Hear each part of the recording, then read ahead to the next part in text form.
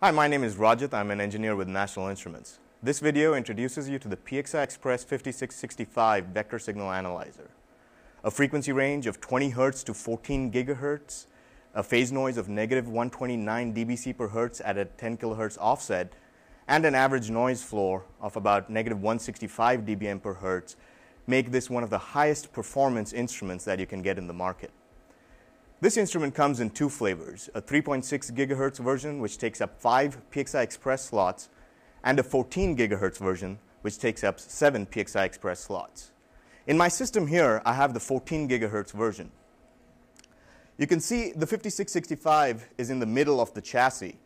I also have a few vector signal generators and switches which are going to be generating signals that are going to go into my 5665. To show you the performance and the speed capabilities of the 5665, let's take a look at my LabVIEW front panel.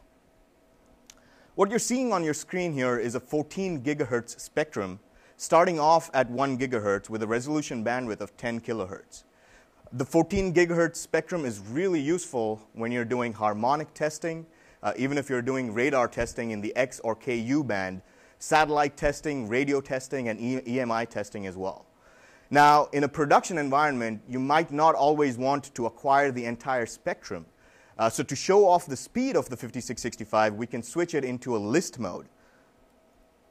With list mode, we're actually hopping frequencies. Uh, here I'm going from about 2 gigahertz to 14 gigahertz and measuring the harmonics at every 2 gigahertz steps. So I'm taking seven total steps.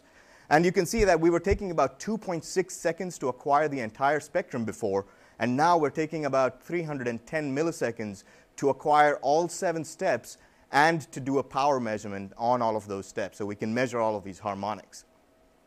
The second tab here shows the phase noise of the instrument.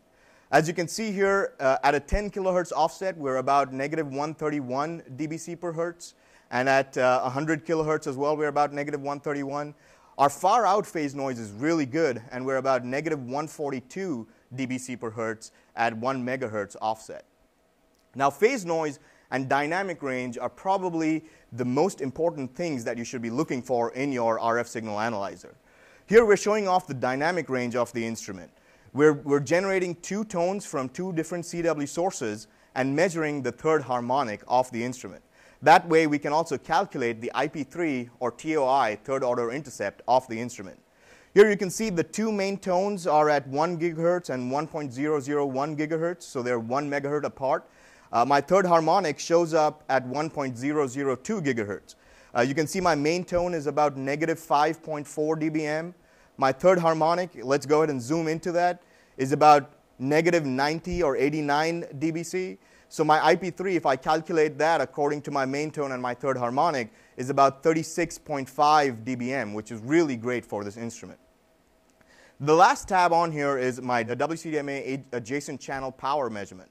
Here again, for adjacent channel power, the uh, dynamic range, the noise floor, and the linearity of your RF signal analyzer are really important. You can see that my adjacent channel power measurements are about negative 80 to negative 81 dBc, and my alternate channels are about negative 85 to negative, uh, 86 dBc, which is really great for this instrument. Overall, the PXI Express 5665 not only provides the highest performance because of its dynamic range, linearity, and noise floor, but because of the benefits of the PXI platform, such as peer-to-peer -peer streaming and modularity, it's also one of the fastest instruments that you can get in the market. The use of the software toolkits, such as WCDMA, LTE, GSM Edge, and GPS, also make the 5665 one of the most flexible instruments that you can find.